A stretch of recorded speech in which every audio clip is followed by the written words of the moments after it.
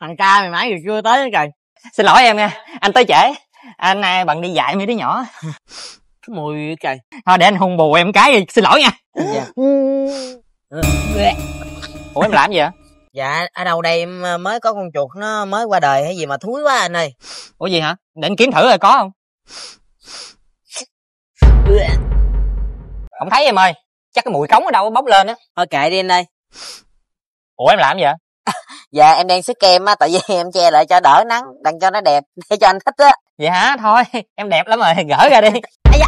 gì vậy? À, bụi vô mắt rồi. Bụi mắt hả? ây da. đâu? Đưa mắt để anh thổi ra hết bụi làm cho. Đó đó đó để để em cho anh ơi. Ừ, đẩy anh thổi cho. Đây là đẩy đây đẩy đã nói được rồi. Đang người ta nói tới đó ờ, cũng không biết cái mỏ mình sao nữa. Rồi thơm rồi vậy hung em được chưa? Được à.